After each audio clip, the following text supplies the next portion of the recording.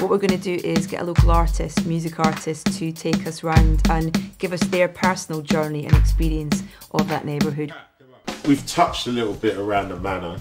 Um, Lalo, for those who are in the know, Ladbroke Grove, um, Kensington, around that way. Trod in the old streets of London, places I used to hang out in. We've done a little walk through of where I recorded my first single, which we purposely put the hit on the B side because we knew that we had a lot of anoraks will be looking for B sides because we were always digging for the perfect beat, as it were. I must say, I do like the artwork for good, the isn't it? 80s. Pretty, pretty fab. Pretty awesome. We did the carnival thing, Westbourne Yeah. Park Road, and that's where um, the, the sound system was set up. So this was it here. Yeah, because you, we would face it like this. Your bands will be over there. Yeah, and the system will be set up here. Yeah. And we would do it in such a way because if we did it like this, the sounds would be bouncing. There'll be a rig on that side. Yeah. There'll be another rig past that tree, and the other rig will be strapped to the van. Yeah. And we'll have the sound going into one area. So all the air would be like so intense in Yeah. just this little spot. It was absolutely amazing. There's so much that you've got a connection with around here, even though you're a North London boy. Well, yeah, that's testament to being like, you know, London, innit? You know what I mean? It's some of that.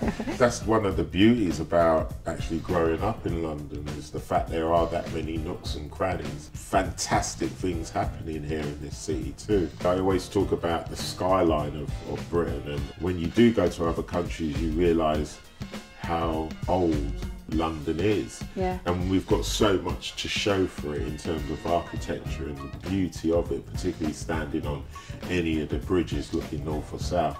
But what was interesting today, actually on foot, was so many little changes that are made. Some of those venues no longer physically exist. But every so often you'll see a little plaque or some Yeah. sort of reminder about what was there Yeah. and how important it was for us I loved when you said about um, when we were outside where you used to have your sound system at Carnival. And I was like, what did you play? And you were like, everything. Name it. Well, the beauty of the carnival there, you could be that eclectic. You obviously had your core. From a sound system's point of view, you would always be trying to break something new. Yeah. Coming to the end of that particular period, we were breaking our own records, as it were. Yeah. But Soul II Soul, one of the great things about Soul II Soul, we have always been eclectic, and a lot of the, the members of the band always have their own ideas of um, what music they're into, and maybe the type of music they'd like to make. yeah. And then when we all come together, it's almost like a, a blender. Are you looking forward to the Sunday social? I think it'll be an interesting event. Choosing songs that I think are associated with the neighbourhood. I've had a look at your playlist. Uh, I'm a little bit nervous about having to DJ in your company, if I'm being honest. Give me some advice. Cool Jazzie.